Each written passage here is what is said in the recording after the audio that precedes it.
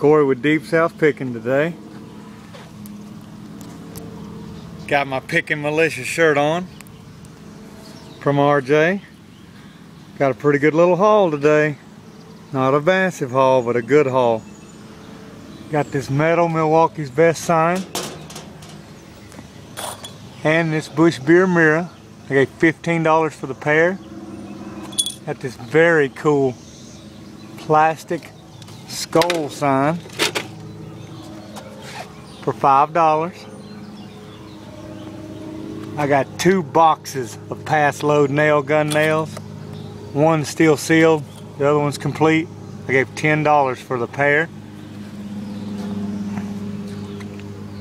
I got one, two, three, four, five pairs of Crocs, two other pair of deck shoes.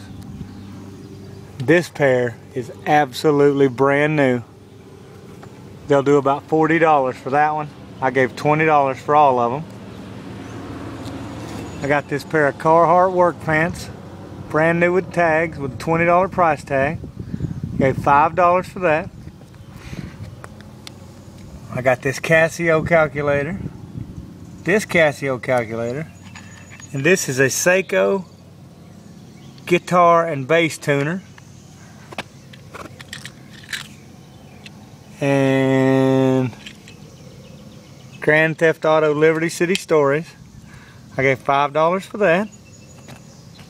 I got the Super Nintendo with Mario Paint, Final Fight 3, Mario All-Stars, and Chrono Trigger, and the controller for $5.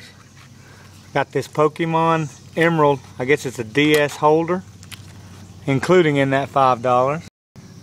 I got a PlayStation 1 Spyro game for a dollar.